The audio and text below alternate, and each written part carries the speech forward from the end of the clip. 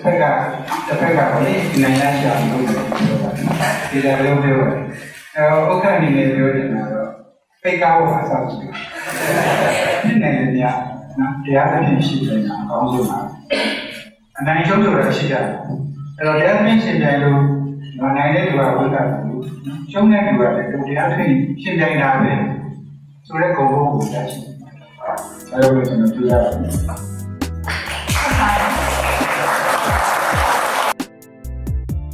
မဝင်မှာရှင်းရနေရေကောက်ပွဲဟာရက်ပိုင်းလောက်လေးပဲလူတော့တဲ့အချိန်မှာတော့အာနာယကြန့်ခိုင်ရေးပါတီရဲ့လွှတ်တော်မက်လောင်းတွေရဲ့မဲဆွယ်မှုတွေကခက်စိတ်စိတ်ဖြစ်လာပါတယ်။ဒါပေမဲ့ဩဂတ်12ရက်နေ့ပါတီတွင်းအာဏာသိမ်းမှုကြောင့်ပါတီဥက္ကဋ္ဌအဖြစ်တာဝန်ယူခဲ့တဲ့သူရဦးရွှေမန်းဖယ်ရှားခံလိုက်ရတာကြောင့်တမရဖြစ်ချင်တယ်ဆိုတဲ့သူ့ရဲ့အိမ်မက်ဘလို့ဖြစ်သွားတယ်လဲ။သူရဦးရွှေမန်းရဲ့မျှော်မှန်းချက်ကိုဖယ်ရှားခဲ့တဲ့တမရဦးသိန်းစိန်ကတော့နောက်9နှစ်အတွက်သူဘာဖြစ်ချင်တယ်ဆိုတာကို တရားဝင်ပြောမယ်လို့ဆိုပေမဲ့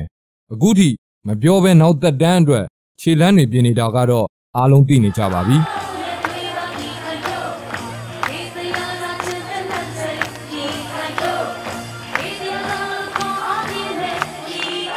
လက်ရှိပြည်တော်စုလွှတ်တော်နာယက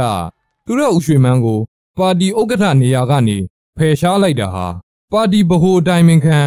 ဥအောင်တောင်အုံနောက်သွေးကြောပြက်ပြီးစေယုံတက်လိုက်ရတဲ့အချိန်ကစလို့ တလတိတိကြာမှဖြစ်ပေါ်ခဲ့တာပါ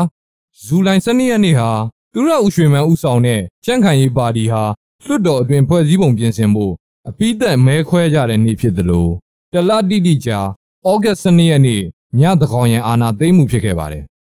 ပါတီခေါင်းဆောင်ဖြစ်ကနေသူရဦးရွှေမန်းဖယ်ရှားခံလိုက်ရတဲ့ကိစ္စကြီးဟာဘာရည်ရွယ်ချက်နဲ့ဦးသိန်းစိန်ဆိုရလုပ်ခဲ့တယ်ဆိုတာသူ့အနေနဲ့ဖြေဖို့ခက်တယ်လို့ပြောလာသူကဦးရွှေမန်းနဲ့ခမီးခမတ်တော်ဆက်တဲ့ အမျိုးသားလွှတ်တော်ကိုယ်စားလှယ်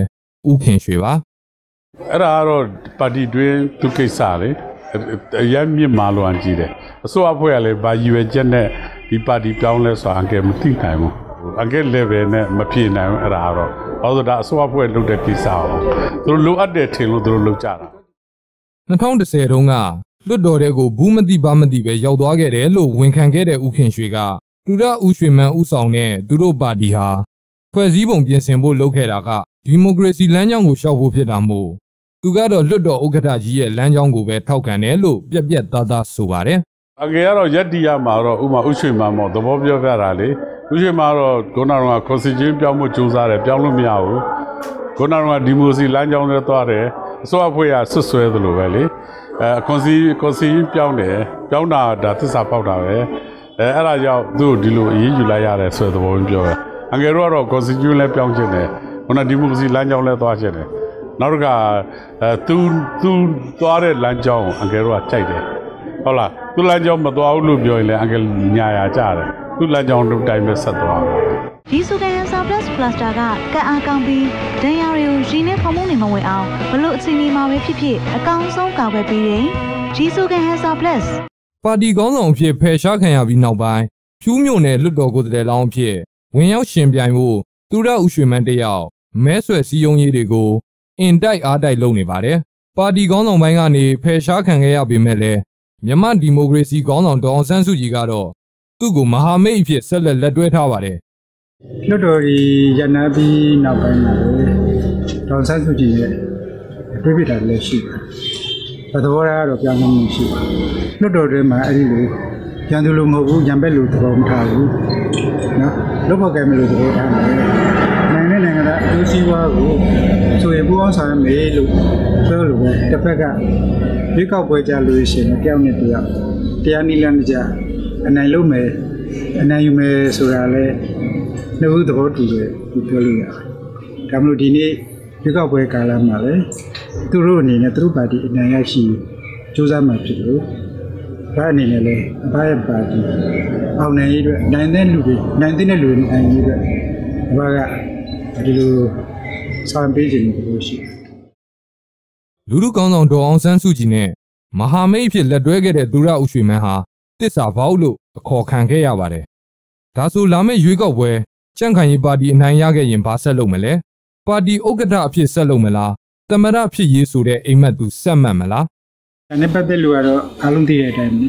ဒီကိစ္စစကားများနေတဲ့ကိစ္စနော်ဒါကြောင့်မလို့ခုနပြောတဲ့ရွေးကောက်ပွဲပြီးနောက်ပိုင်းမှာမနာပါတီရဲ့ဆန္ဒလွတ်တော်ကိုယ်လည်းများရဲ့ဆန္ဒအရာပေါ်ပေါ်လာမှာဆိုကြန့်ခိုင်ရေးပါတီဗဟိုအဆင့်မှာအာဏာသိမ်းမှုဖြစ်ခဲ့တဲ့ကိစ္စပြည်내တိုင်းခရိုင်နဲ့မြို့နယ်အဆင့်ပါတီဝင်တွေအမတ်လောင်းတွေပေါ်ဘယ်လိုရိုက်ခတ်မှုတွေရှိခဲ့သလဲမြောင်းမြကနေတိုင်းလွတ်တော်အမတ်လောင်းအဖြစ် ဝင်ပြိုင်မဲ့လက်ရှိ AR တိုင်းစိုးရအဖွဲ့ရဲ့ဗန္နာရေးဝန်ကြီးဦးဝင်းကိုကိုကတော့ဘိုလ်ဆင့်ရဲ့ဒီမူဝါဒပြောင်းလဲခြင်းလူပုဂ္ဂိုလ်ပြောင်းလဲခြင်းနေပေါ့လေဒီဟာတွေရှိခြင်းဟာကတော့ကျွန်တော်တို့တိုင်းဒေသပြည်နယ်နောက်တစ်ခါခရိုင်မြို့နယ်အဆင့်နေအထိရိုက်ခတ်မှုမရှိဘူးလို့ကျွန်တော်တို့ဒီလိုပဲသုံးသပ်ပါတယ်။ဘာဖြစ်လို့လဲဆိုတော့ကျွန်တော်တို့ဟာကို93ခုနှစ်နဲ့စတင်ပြီးတော့ပြည်သူ့အတွက်အလုပ်ကြီးပြုဖို့ဖွဲ့ခဲ့တာအနေမှာနိုင်ငံလိုအပ်ချက်အကြောင်း နိုင်ငံလိုအပ်ချက်အရာခေတ်စနစ်ကလိုအပ်ချက်အရာပါတီတစ်ခုအသွင်ကူပြောင်းခဲ့တာဖြစ်ပါတယ်2010မှာဒီကူပြောင်းလာခဲ့တဲ့တရေတီလာခဲ့တဲ့ပါတီဟာလည်းပဲပြည်သူ့တပ်ပဲရည်ရွယ်ထားတာဖြစ်တဲ့အတွက်ကြောင့်မို့တဦးတယောက်အပေါ်မှာမိတွယ်ခြင်းမရှိဘဲနဲ့ကျွန်တော်တို့ဟာပါတီရဲ့တကယ့်မူဝါဒအပေါ်မှာပဲလိုက်ပါဆောင်ရွက်ကြတဲ့အလေးအထားကောင်းနေရှိနေပြီးသားဖြစ်တဲ့အတွက်ကြောင့်မလို့ကျွန်တော်တို့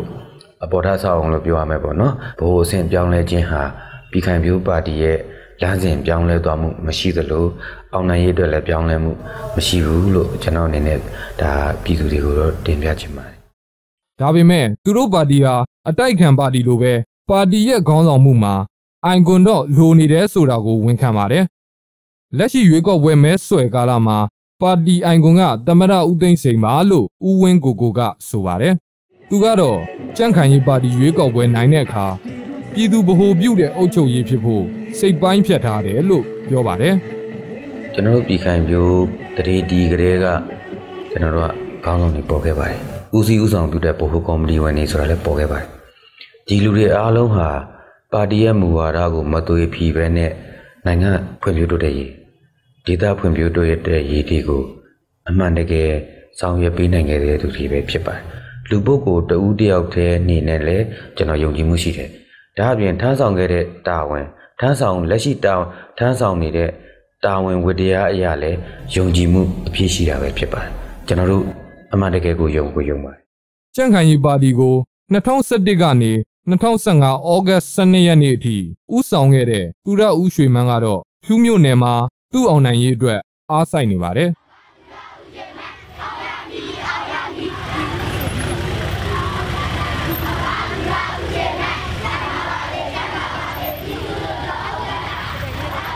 တနိုင်ငံလုံးအနှံ့ပါတီအောင်နိုင်ရေးအတွက်သူမလုပ်ပါဘူး NLD ပါတီခေါင်းဆောင်ဒေါအောင်ဆန်းစုကြည်ကအမတ်လောင်းတွေကိုမကြည့်ပဲပါတီကိုကြည့်ပြီးမဲပေးဖို့စော်ဩနေချိန်မှာကြန့်ခိုင်ရေးပါတီအတွက်ပါတီကိုရောလူကိုရောကြည့်ပါလို့သူဒဥရွှေမန်းကပြောပါတယ်။ဘာဖြစ်လို့ပါလဲတချို့လည်းမေးကောင်းမေးနေမှာပေါ့ဒါပါလဲဆိုရင်မဲပေးတဲ့နေရာမှာပါတီဝဲမဲပေးပါတချို့ကလူကြည့်ပြီးမဲပေးပါလေတို့အနေနဲ့ကတော့ ပါတီကိုလည်းကြည့်ပါလူလည်းကြည့်ပါတို့ပါတီအနေနဲ့ပြောမယ်ဆိုရင်နိုင်ငံနဲ့နိုင်ငံသားအကျိုးစီးပွားအတွက်ဆိုရင်မြည်သည့်ပါတီမြည်သည့်ပုဂ္ဂိုလ်မြည်သည့်အဖွဲ့အစည်းနဲ့လို့ဆိုရင်ညှိနှိုင်းပူးပေါင်းဆောင်ရမယ်ဆိုတာဒါပါတီရဲ့ပူးပေါင်းဆောင်ရမှုပါလားအဲ့လိုမူဝါဒကိုအကောင့်ထဲပေါ်မဲ့ပါတီဝင်များဟာတကယ်နိုင်ငံအတွက်စိတ်ကောင်းရှိရဲ့မှန်ကန်တဲ့လူများဖြစ်တယ်လို့ခါကြည့်လို့ စိတ်စေနာကောင်းပြီးတော့ပြည်သူနဲ့နိုင်ငံအကျိုးကိုတကယ်ဆောင်ရွက်ပေးနိုင်တဲ့လူတွေကိုပြည်သူတွေစဉ်းစားကြည့်မယ်ရွေးကြည့်မယ်ဆိုရွေးကြည့်လို့ရပါတယ်အဲ့လိုလူမျိုးတွေတော့လွတ်တော်တွေကိုရောက်စေချင်ပါလေလွတ်တော်ကိုလည်းဖြစ်စေချင်ပါတယ်။သူရဥရွှေမန်းပြောတဲ့ပါတီတွင်းကစုံမြူးတွေထက်ပြည်သူအပေါ်စိတ်ရင်းစေတနာကောင်းတဲ့သူကိုရွေးချယ်ပြီးအဲ့ဒီလိုလူမျိုးတွေကိုပဲလွတ်တော်တဲ့ကိုရောက်လာစေခြင်းတယ်လို့ ပွင့်ပွင့်လင်းလင်းပဲဆိုပါတယ်။ဩဂတ်12ရက်နေ့ညအာနာသိမ့်မှုကိစ္စသူ့ရဲ့စိတ်ခံစားချက်ကိုသူထိမ့်သိမ့်နိုင်တယ်လို့ရင်ဖွင့်ပါတယ်။လူသားတစ်ယောက်ပဲအဲသူကလူသားတစ်ယောက်ဆိုတဲ့နေရာမှာမတူညီမှုကတော့အတွေ့အကြုံပဲပြီးတဲ့အခါမှာစိတ်ရှိပြီးခဏသူတို့ပြန်လဲနားလည်ပြီးတဲ့ကိစ္စတွေကြောင့်အများလူတော့နော်ခံစားမှုရှိတယ်ဆိုရင်အများလူတုံ့ပြန်ကြတာမရှိနဲ့ပါထိနေတယ် ရန်ကုန်တိုင်းကော်မှုမြို့နယ်မှာနိုဘယ်ငြိမ်းချမ်းရေးဆုရှင်ကိုပြည်သူ့လွတ်တော်အမတ်အဖြစ်ရွေးချယ်ဖို့ပြောပြီးအမျိုးသားလွတ်တော်အမတ်အဖြစ်သူ့ကိုရွေးပါလို့မဲဆွယ်နေတဲ့ဇေကဘာဥခင်ရွှေတယောက်ရွေးကောက်ပွဲအခင်းချင်းနဲ့ပတ်သက်လို့ဘယ်နိုင်ငံရေးပါတီကပြက်ပြက်သားသားအနိုင်ရမလဲဆိုတာပြောရခက်နေပါတယ်ပထမဆုံးလုတ်ပြမှာကတော့အဲ့ဒီဥစ္စာတော့ပြောရအရန်ခက်တယ်ခက်တယ်ဆိုတော့လာမဲ့ဒီရွေးကောက်ပွဲပြီးမှအဲ့ဒီအဖြေတွေ ဆက်ထွက်သွားလို့ရမယ်ခုလောဆယ်ပြောရင်လည်းအပန်ဖို့နေတယ်မှားဖို့များတယ်အဲ့တော့ရွေးကောက်ပွဲပြီးတဲ့ပေါ်မှာမူတည်ပြီးတော့အငယ်တို့ပါတီကဘယ်လောက်ရမယ် NLD ကဘယ်လောက်ရမယ်တိုင်းသားတွေကဘယ်လောက်ရမယ်အဲ့ဒီပေါ်မှာကြည့်ပြီးတော့မှဘယ်လိုသွားကြမလဲဆိုတာဖြေမှပဲအဖြေမှန်ရတယ်သူကတော့အဖြေမှန်ရစရာအကြောင်းမရှိဘူးအခုတော့အာဏာရကြံ့ခိုင်ရေးပါတီနဲ့ရွေးကောက်ပွဲမှာတောင်ပြိုကမ်းပြိုနိုင်မဲဆိုတဲ့ အမျိုးသားဒီမိုကရေစီအဖွဲ့ချုပ်တို့ဟာမဟာမိတ်ပါတီကနေပြိုင်ဘက်ပါတီကိုဒီမိုကရေစီနီးရကူးပြောင်းရမှာဖြစ်ပေမဲ့